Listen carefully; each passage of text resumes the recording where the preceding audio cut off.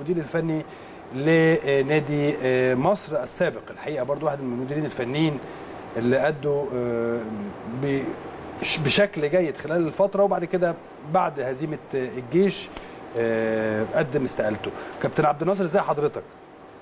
مساء الخير. ازيك يا كابتن إسلام؟ ازي حضرتك؟ مساء الفل. و- برحب طبعا بالكباتن الكبار إخواتي الكبار اللي عندك آه، كابتن عادل كابتن إبراهيم كابتن عادل عبد الرحمن. آه. كابتن عادل قايمه نورنا.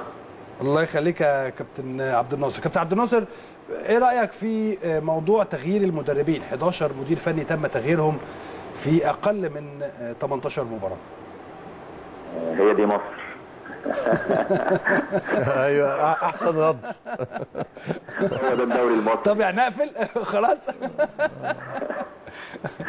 آه، يعني إحنا مشكلتنا في مصر آه، بن- بنبص للنتائج بس ما بنبصش ل- يعني لأداء المدرب مع فرقته عامل إزاي. آه. آه، في أغلب الأحيان أنا بتكلم في أغلب الأحيان في أغلب الفرق يعني. يعني في مدربين بيشتغلوا شغل كويس وشغل محترم.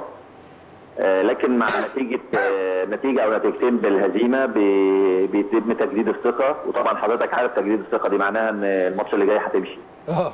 ماتش أو ماتشين وهتمشي صح. بالظبط كده يعني. فهي دي المشكلة في مصر يعني غير إحنا ما عندناش استقرار في المدربين زي بره. بره بي المدرب بيكمل لنهاية الموسم يعني نادرا ما بيتغير مدرب آه، في نص الموسم أو بعد هزيمتين ثلاثة لا بيكملوا بي- بيحاسبوا المدرب طبعا في آخر الموسم.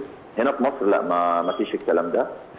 آه، يعني بس أعتقد يا كابتن أعتقد يا كابتن عبد الناصر لو في هدف يعني مثلا لو أنت متفق على آه، مع نادي مصر على البقاء مثلا في الدوري في ظل ال- النتائج يعني لسه كابتن عادل طعيمة وكابتن إبراهيم وكابتن عادل عبد الرحمن كانوا بيتكلموا على إن فريق مصر من الفرق اللي أدت بشكل جيد جدا.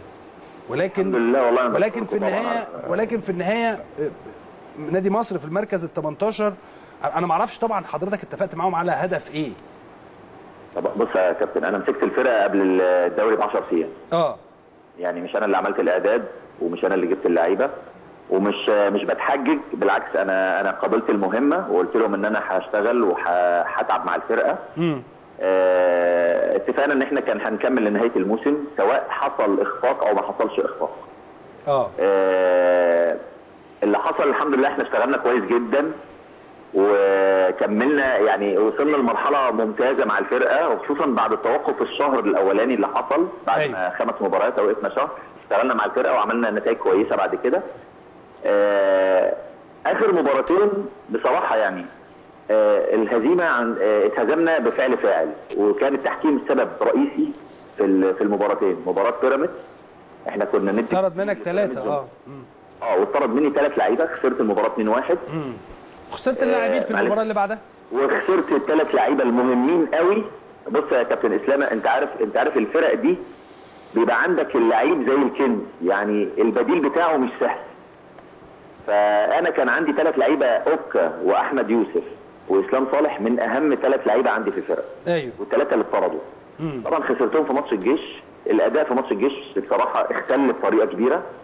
لكن عايز أقول لك برضو إحنا وإحنا مهزومين أربعة وكنا إحنا كنا 2 0 جبنا جول مصطفى سلطان جاب جول في الجيش اتحسب أوفسايد وهو مش أوفسايد. يعني كان ممكن يرجعني للمباراة.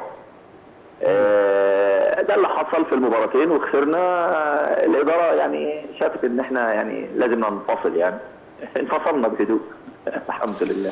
يعني نتمنى لكم كل التوفيق يا كابتن عبد الناصر انت المديرين الفنيين الأكفاء. الحقيقة نتمنى لك يا رب كل التوفيق. لا والله الحقيقة قدم. قدمت مستوى جيد والله يا عبد الناصر في الوقت اللي انت مسكت فيه وفي